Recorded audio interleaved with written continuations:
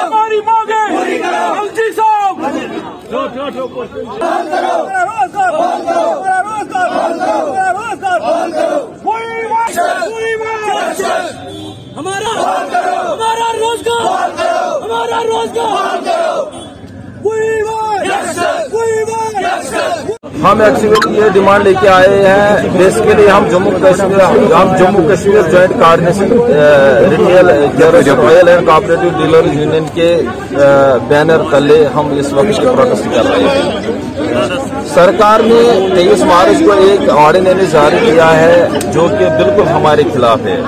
اس میں یہ لکھا گیا ہے کہ پی ایچ ایس کیٹیگری کو ہم بے لکھاکی نہیں دے دیں گے اگلے تین مہینوں میں۔ جبکہ گورنمنٹ آف انڈیا نے پہلے ہی ان تین مہینوں جون تک تیل خاک واگزار کیا ہے۔ مطلب ہمارے جموں کشمیر کے لوگوں کے لیے۔ جب انہوں نے یہ تیل خاکی کاٹا ہے، مگر اس میں انہوں نے ہمارا کوئی مطلب پروجن نہیں رکھا ہے۔ اگر یہ بے روزگار ہوئے ہیں تو ہمارے ریبلیٹیشن کے لیے انہوں نے کچھ نہیں رکھا ہے۔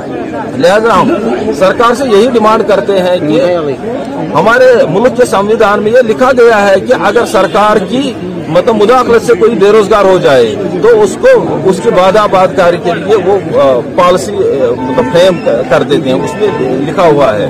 اس لیے ہم وہی ڈیمانڈ کرتے ہیں کہ جس طرح ہمارے ملک کے سنویدھان میں لکھا گیا ہے کہ یہ ریہبلیٹیشن پالیسی مطلب مرتب کرنی چاہیے۔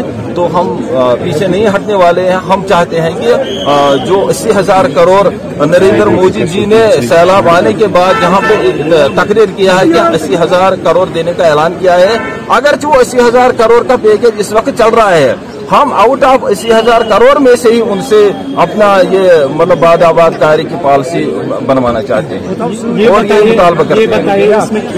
اس میں قریباً جموں کشمیر کے چھ ہزار ڈیلرز افیکٹ ہیں جس میں خصوصاً ہمارے کشمیر کے جو بالکل مطلب ہمارے مطلب ہم بالکل without of any source ہے، تو ہم بالکل افیکٹڈ ہے قریباً پچیس سو لوگ ہم کشمیر کے اس میں مطلب افیکٹڈ ہے سر۔ شکریہ۔